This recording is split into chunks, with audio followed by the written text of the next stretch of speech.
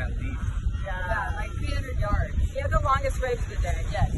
I bet Jenny had the raddest wave of all. I got two, and that doesn't happen very often. And I was like, please God, let that barrel, barrel, yeah, let somebody barrel. see it. And Frank and David saw it, and they took pictures, photos, woohoo, sequence shot. Yeah, I am right, so sick. Okay, and then I read this book. Tom Hamilton hooked me up with over in Honolulu Bay.